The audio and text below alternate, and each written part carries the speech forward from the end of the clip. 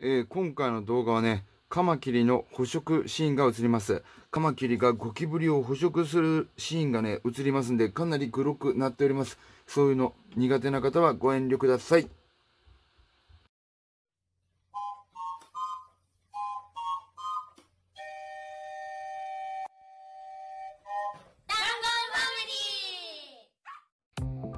はい。団子もお父さんです、えー今回もまた懲りずにね青い朝鮮カマキリの龍一くん。龍一くんの餌やり動画を上げたいと思います。いやあれからまた一時経ちましたけど相変わらず青いですね。お分かりいただけるでしょうか？この青さこの美しさ。よしでは早速与えてみたいと思います。レッドローチ。さあ食べてくれるかどうか。反応してるかどうか。若干こっちを向いたがどうだ？さあどうだ？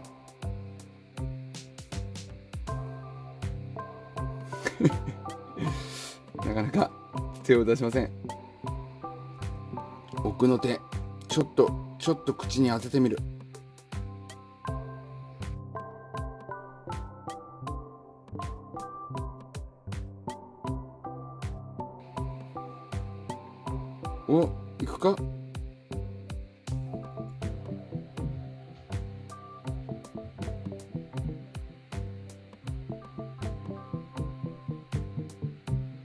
弱らせて傷口から直接食べさせる。はい捕らえました。龍一時間かかっただいぶ。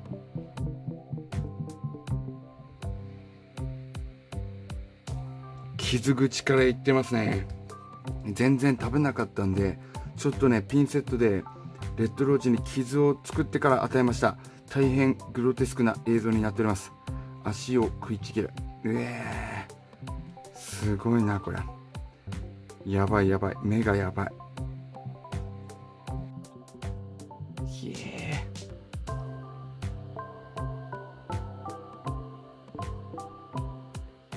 ここからの映像だとこの龍一のねブルー感が伝わるんじゃないでしょうか。顔も青いです。はいはい。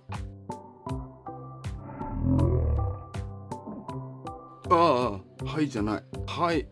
ちなみにね今手前にいますのが通常の朝鮮カマキリの緑色の個体になります。この色の違いわかるでしょうか？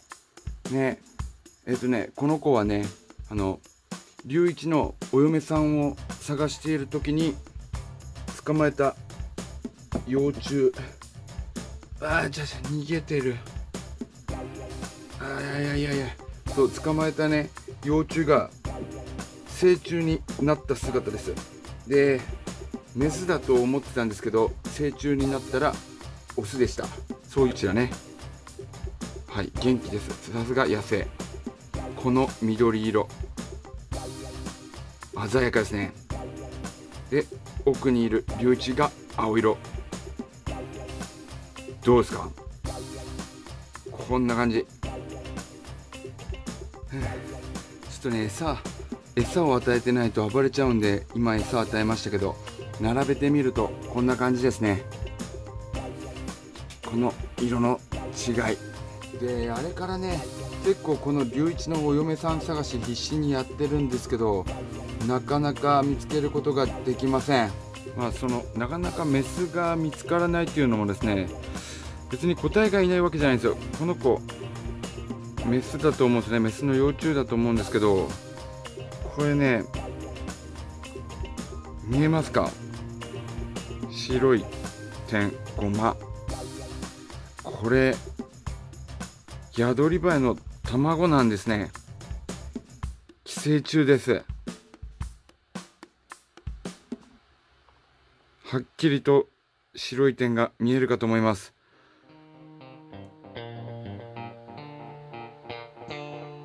そして腹部のところ。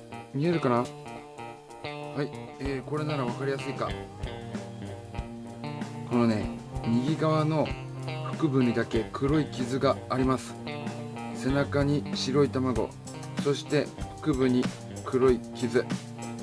おそらくもうこちらはね宿りバエに寄生されている。ちなみにですね朝鮮カマキリこんな個体もいます。手前にいるのが龍一ね。龍一はまかなり小さい個体なんですけどそれでも約8センチいかないぐらい。7.5センチぐらい。龍一が7.5センチ。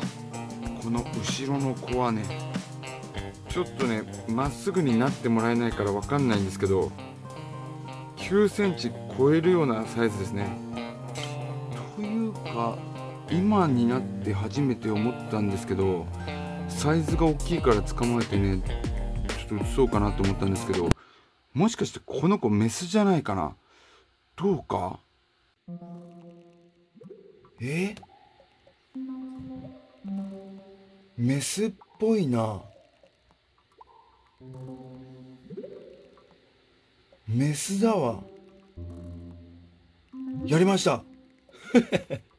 いや冗談抜きでね今初めて気がつきました。この子メスですね。もうちょっと飼育してよく観察してから、まあ、寄生虫等がねいないことが確認できればこの子を龍一のお嫁さん候補にしたいと思います。龍一おいで。ちょっとねサイズ感が違うけど。はい。予想にしてなかった展開ですがなんとか龍一のお嫁さん候補第1匹目がね見つかりました。うん。まあちょっとよく見てみないとまだ寄生虫のこととかありますから怪物感がすごい。はい。というわけで今回はこんな感じで終わっていきます。ちょっとねエンディング動画を撮り忘れてました。うん。今回の動画は朝鮮カマキリの龍一それから宿り場へのやつと色の違いとお嫁さん候補のお話でした。ご視聴ありがとうございました。